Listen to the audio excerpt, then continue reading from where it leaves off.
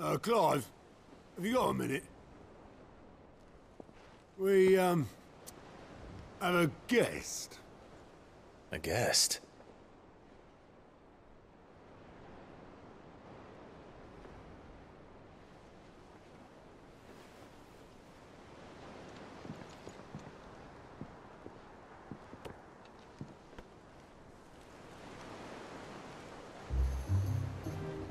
For your trouble. It was a pleasure, in hindsight. Uncle Byron? Clive, my boy!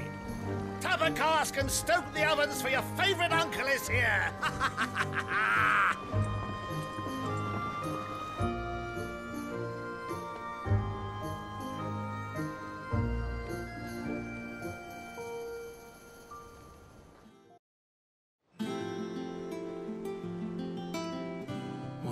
is Uncle Byron doing here? Only one way to find out.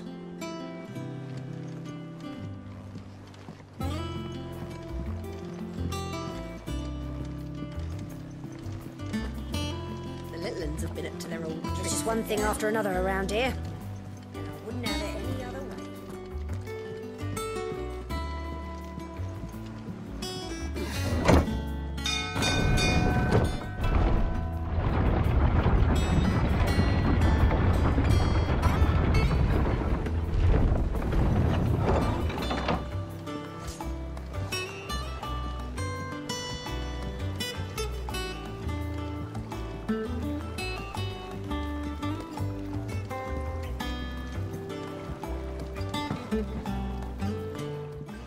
My dear nephew, how I've missed you.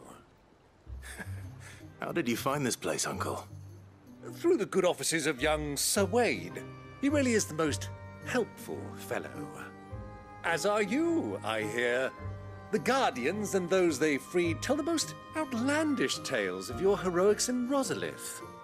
Which is why I came, to learn the full truth of the matter. Sort the fact from the fiction, so to speak.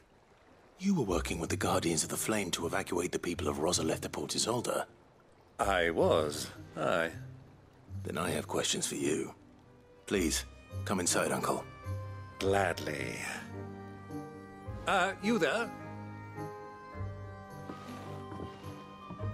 There are 2,000 gold talents in those chests. See that they're added to my nephew's coffers, would you?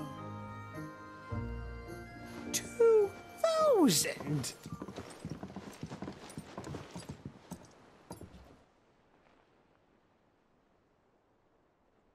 And I'm afraid that is all I know. A fleet sailing south past Port Isolde.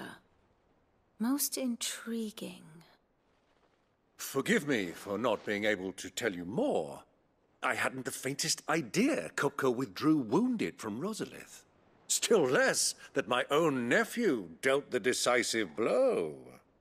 What do you think, Vivian? I think, with this news of the Dhalmekian fleet and recent reports of the Royalists' movements, that the final piece of the puzzle has fallen into place. Come here and I'll show you. So it was the Waloeders who spirited the wretch away. Now I think about it, there was something a little strange about the ships I saw. The men seemed almost crestfallen, as if in mourning, as if they believed, or were made to believe, that their master was dead.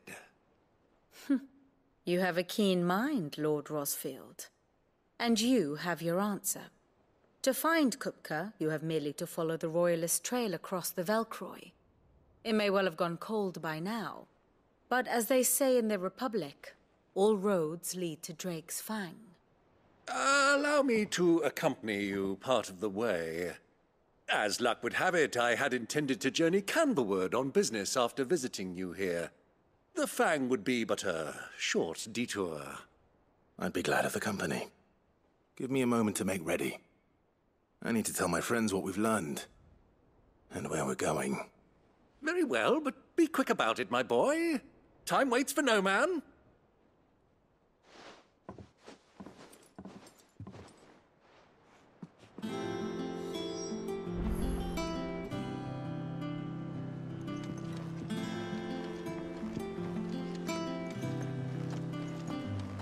Sid's finished outfitting her little workshop, I hear. Otto, Kupka's at Drake's Fang. I'll be leaving before sunset. You're not going in there alone, are you? Don't worry. I'm not going there to destroy the Mother Crystal. All I'm after is Kupka's head. I won't risk any more than I have to. I promise. The Lanza and the Fang are all Kupka's personal fiefdom. You have any trouble on the way, you ask for Rosina Dalimil. Some call her the Desert Hare. Who is she? An old associate of Sid's. And only Sid's. All I know is the name, and that they used to meet at the Dalimil Inn. We've heard nothing from her since he died. But I'm thinking maybe the new Sid might be able to bring her back into the fold. Thanks. I'll keep that in mind.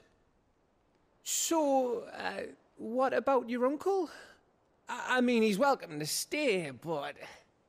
Don't look so worried. He'll be coming with me. Thank fuck for that. Gav, Otto, I'm leaving you two in charge. You can count on us.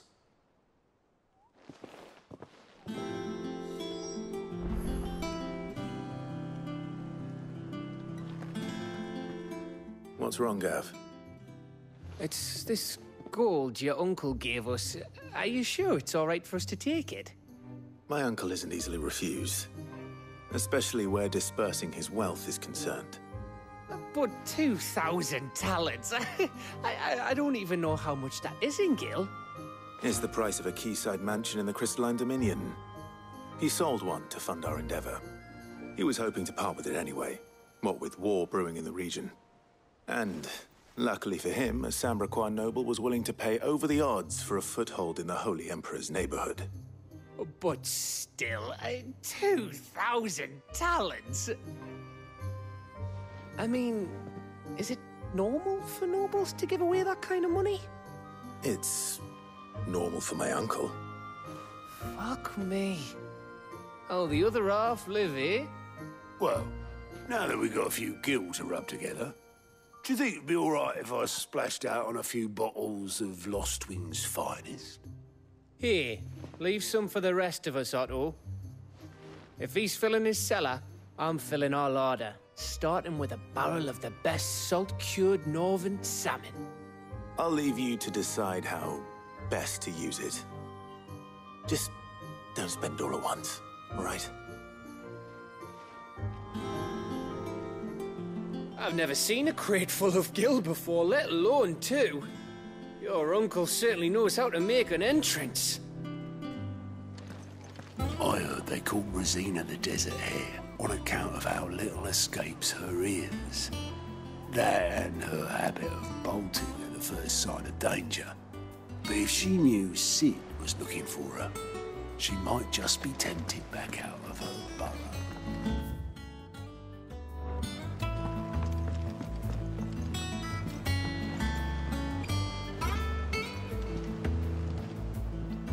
All right, Uncle. I'm ready to depart. Shall we? We shall.